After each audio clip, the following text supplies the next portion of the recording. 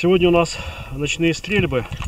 Ну, по сути дела, тренировка. И стреляем мы э, ВЗ-58, на котором установлен э, тактический фонарик от компании Феникс. Модель называется ТК-32.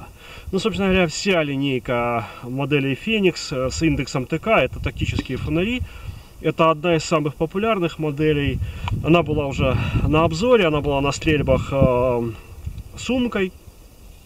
Но э, сегодня я хотел показать, как используется этот фонарь на оружии и э, в купе с выносной, с выносной кнопкой управления этим самым фонариком. Ну, во-первых, по фонарику, для того, чтобы было бы подробней. Здесь у нас интересный рефлектор. Э, по сути, под одним стеклом три рефлектора, три зеркала отражателя. Центральный это у нас основной белый свет и два маленьких, соответственно, красный и зеленый. Э, установлено в Изехе с помощью вот такого вот кронштейна. Здесь у нас глушитель от компании Astur. И можете сказать, что при работе глушитель частично перекрывает свет фонарика. Да, перекрывает. Но а, под наши задачи это вполне допустимо. Почему? Потому что э, сегодня у нас э, тренировка по спорту и та часть светового потока, которая перекрывается глушителем, она, вернее, та, которая не перекрывается, вполне комфортно дает нам возможность определить э, мишень. Если мы посмотрим вот, вот, вот туда в сторону, здесь у нас э, две МКПСные, UFPСные, вернее, мишеньки, которые мы будем стараться поражать сегодня из этого самого антомата.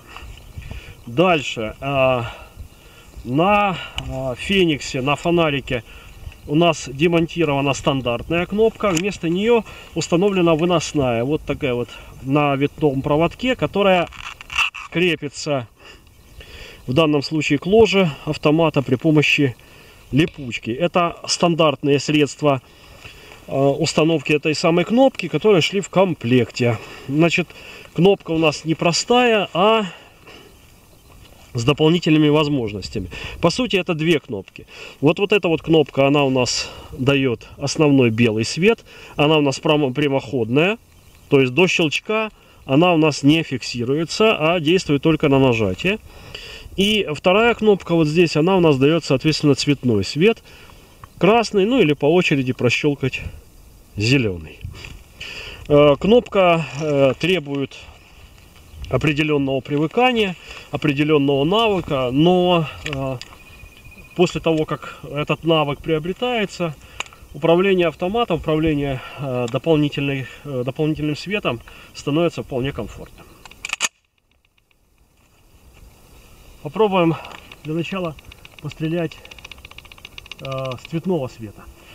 Ну вот, если мы вот так вот скинем оружие, то видим, что засвета вполне достаточно для того, чтобы определять, четко определять мишени. Раз красного.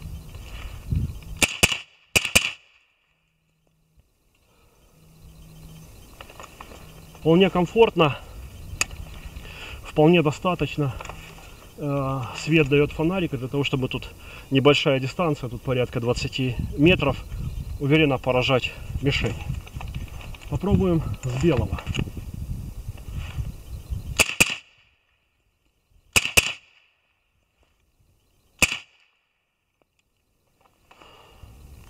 Ну, а с белого и тем более э, уверенно, уверенно поражаются мишеньки. То есть такого засвета на такую дистанцию э, вполне достаточно.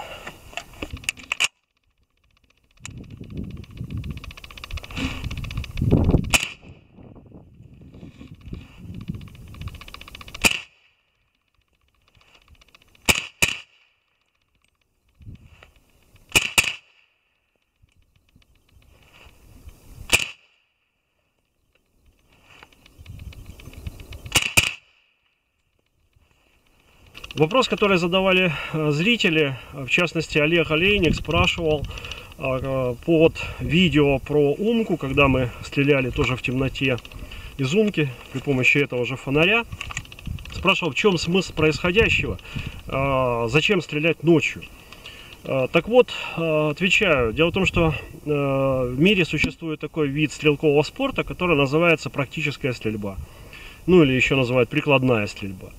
Многие организации производят регламент по этому виду спорта, одна из которых называется UFPS, та, которая в том числе и действует в Украине.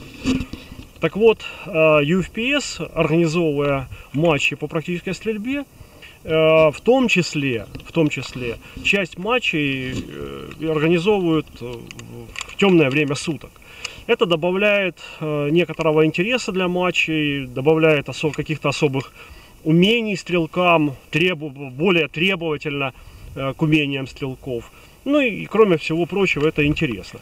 И э, если мы посмотрим вот на нашу мишенную обстановку, то там вот две картонные мишени – Э, так вот, эти мишени, они изготовлены именно по правилам UFPS.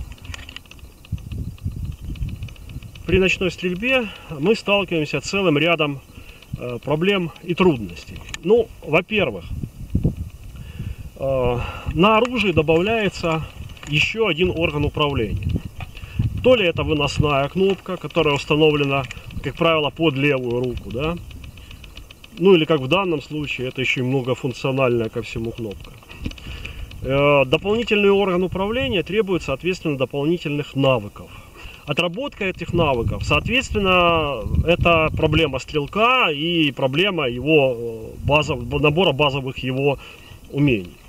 Э, не тренировавшись какое-то время, соответственно, результата получить, четкого результата получить тоже очень сложно. То есть Э, если, как, если вы тренируете стрельбу, практическую динамическую стрельбу со своим оружием, э, светлое время суток, то отдельных тренировок, естественно, требуют и ночные стрельбы. Дополнительный орган управления. Это во-первых. Во-вторых, э, при ночных стрельбах мишень определяется ну, немножко сложнее. Почему? Потому что э, в идеале, проходя упражнения, выполняя стрельбы Э, в темное время суток, вы не видите мишенную обстановку, она ничем не подсвечена, кроме э, осветительным прибором, который находится у вас на оружии. То есть, э, скидывая оружие, прицеливаясь и выводя оружие на мишень, для этого ну, требуется какое-то дополнительное время. Вследствие этого стрельбы ночью, они, как правило, менее динамичные, чем стрельбы в светлое время суток. Это второе. И третье. Э, дело в том, что э, в ночных стрельбах э, объекты, освещенные вашим фонариком, они могут быть искаженными, они могут бросать тени, они могут выглядеть не так, как в светлое время суток, они могут давать не ту цветопередачу. И, соответственно, восприятие стрелком мишенной обстановки – также может отличаться от того восприятия, которое мы имеем э, при дневном освещении. Вот три, пожалуй, основных момента, с которыми сталкиваются стрелки, выполняя ночные упражнения. Вот она наша э, UFPS-ная мишенька, которая пострадала в результате сегодняшней тренировки. Вот именно таким подобным образом она выглядит. Это наша злая злая тактическая собака. Сегодня тактическая. Вообще охотничья.